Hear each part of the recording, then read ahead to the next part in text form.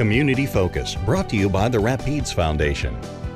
The foundation works in many important areas. A major focus of its healthcare access initiative is to increase the number of breast, cervical, and colorectal cancer screenings. The foundation supports a traveling van that provides screenings for those cancers. There are so many treatments available now that in most cases, if it's caught early, you can have a successful outcome. In the 10 years since the Rapides Foundation has promoted cancer screening, we've seen the cancer screening rates go up in most instances.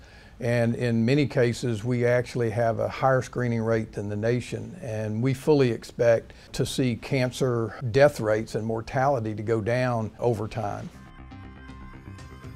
The Rapides Foundation, working together for healthier communities.